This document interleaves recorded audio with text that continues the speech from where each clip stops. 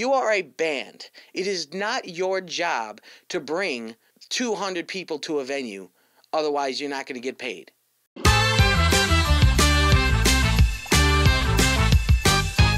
What's going on, everybody? It's your boy Rick Parma, and this is Talking Music. And this is our series in Talking Music How to Be a Gigging Musician. This is going to be part B of my segment on pricing. Part A, if you didn't see the last video, please check it out. There will be a, a link at the end, or it'll be down in the subscription, uh, the description. Uh, make sure you check it out. This is how to be a solo musician uh, when it comes to venues and uh, venues like restaurants, bars, clubs, things like that. Now I'm going to talk about a band situation. Okay, in the same concept: restaurants, clubs, bars, venues. We'll talk about private events, solo, and band. Um, later on in the next video, okay? So check it out. If you are a band, all the same things that I talk about in the first video apply to you. It's just that they happen to apply to you as a group. The main thing is showing someone your value. You are not a marketing guru. You are a band. It is not your job to bring 200 people to a venue. Otherwise, you're not going to get paid. Okay? It's not. This is not your job. So if you are a band and you go as a band name, there's no main person in front, it's a band, okay? Uh, where each part has basically an equal share. This is how you work business when it comes to venues, clubs, bars, things like that. Now, chances are you're going to be playing mostly clubs, bars, bigger venues, not so many restaurants even though now a lot of restaurants have decent bars, so that's kind of like all inclusive. So, but not as many just restaurants. You, the restaurants usually don't have a budget for a full band or, or don't have the space, but there are some out there, and this this will go this will fit in there as well. You need to make a minimum of hundred dollars a guy. Okay, and this is the this is the difference between a solo artist and the band thing. Is with a solo artist, you're taking the brunt load of all the work for the entire three hours that you're there. Two, three hours, sometimes four hours, depending on where you're at, okay? You're doing all the work.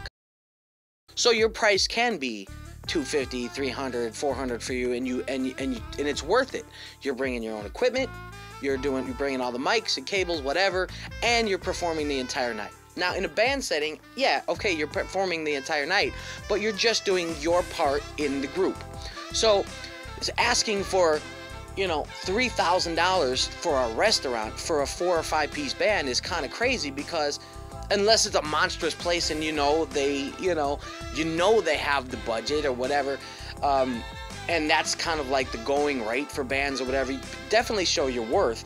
It's just um, what i'm saying is that most restaurants are not going to have a $3000 budget.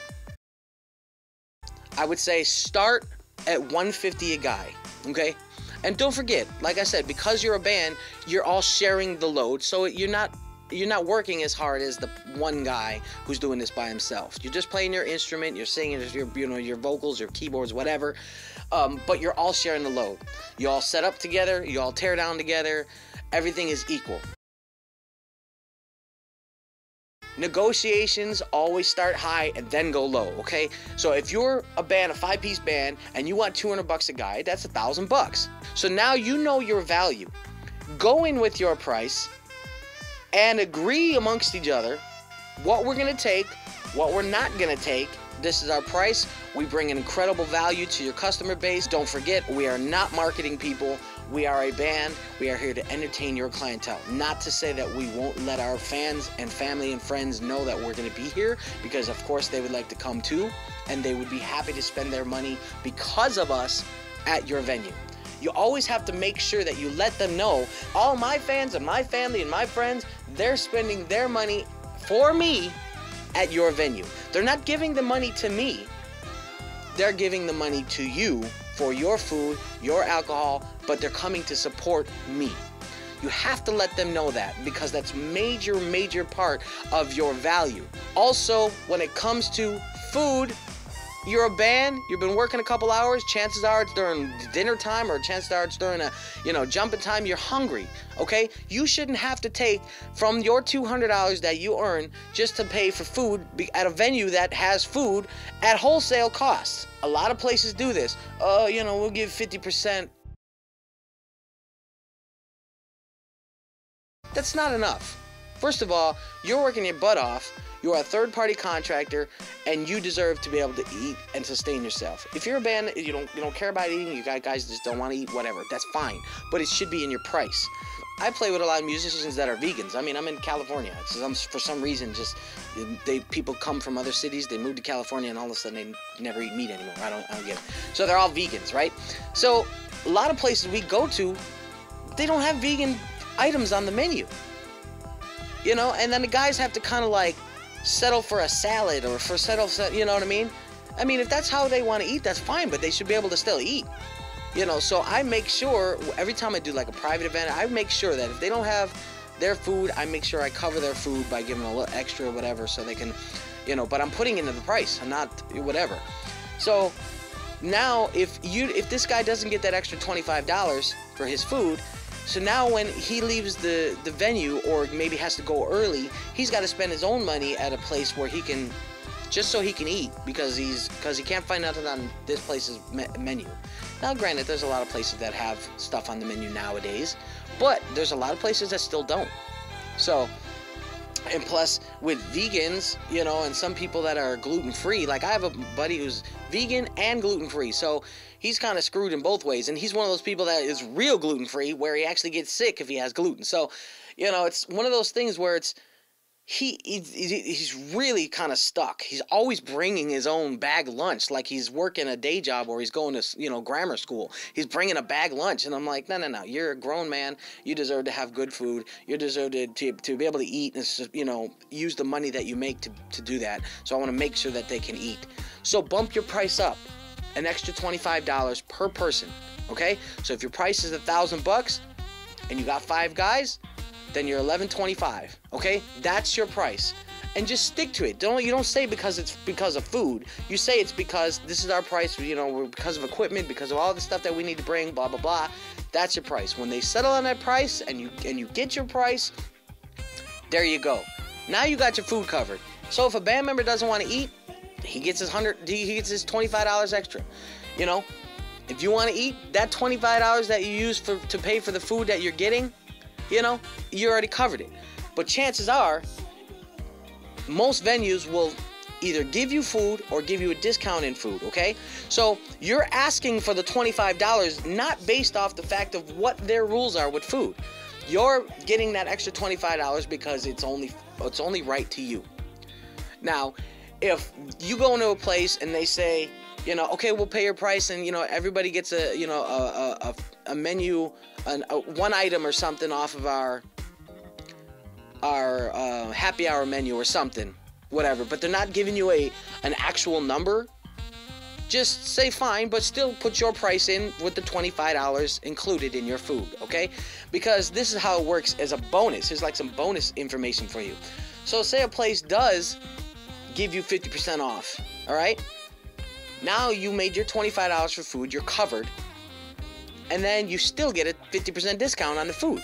Okay? If they're a place that says, oh, we're throwing a free meal, that still means you still add the $25 for food, okay? And that is a the, the very reasonable price. Why? Because they're charging $15 for a plate of spaghetti that costs them 50 cents to make. Okay? Just don't let these restaurants bully you into, oh, we don't have budget. We don't have. If you don't have budget, if you don't have money, you never have money, how are you in business? Why are you in business? Their business practices are none of your concern. Your business practices are none of their concern. So you set your price just like they set their price. They got a $45 steak, and you say, well, can I can I give you 25? No, they're not gonna give you $25 steak. They're going to give you a $45 steak. If you don't want it, they're going to say, well, we got a burger for 10 if you want a burger for 10. And that's for, for that's what they're going to say to any customer. So don't mess with your price if they're not going to mess with their price. All right?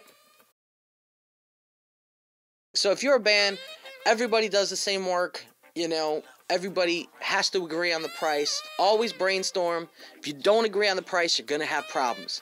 People are gonna be frustrated. Oh, like, uh, well, the drummer's gonna be, like, oh, you know, I bring all this equipment, and then the and the the saxophone guy, oh, he just brings his saxophone, and you know, you. That's why you guys got to talk together. You have to be a band in your music and in your business.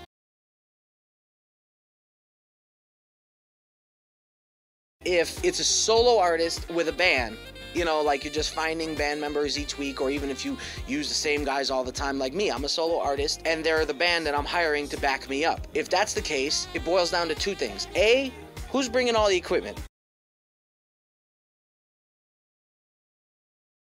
If you're a solo artist and you're bringing all the equipment, speakers and stuff, and they're just bringing their instruments, you make sure you get a little bit more. So if the band, if you're paying the band, you know, 200 bucks a guy, make sure you walk away with at least $500 for yourself because that's a lot of equipment.